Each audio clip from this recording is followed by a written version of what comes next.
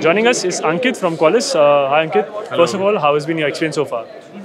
It has been wonderful so far. It is always a pleasure to be at ETCISO events. Last time we were there in Udaipur.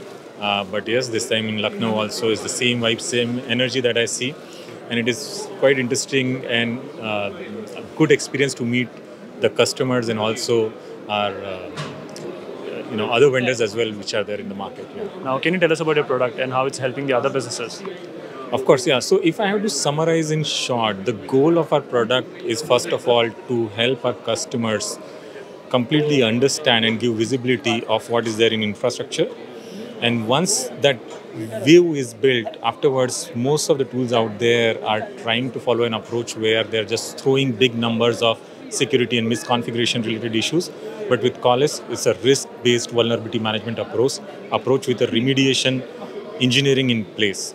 So the idea here is we show you what are the issues and we fix it for you, which no one else can do in the industry at this point in time. And lastly, if you have to define your product with three emojis.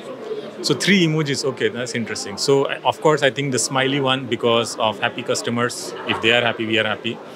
And then uh, the hi-fi one because I think that the tool is not a siloed tool. A lot of different teams across organizations have to work together. So a hi-fi one indicating that there is a collab. And lastly, uh, the dancing one because everyone is happy, everyone is celebrating. well, thank you so much for talking to us. Thank you. It's a pleasure.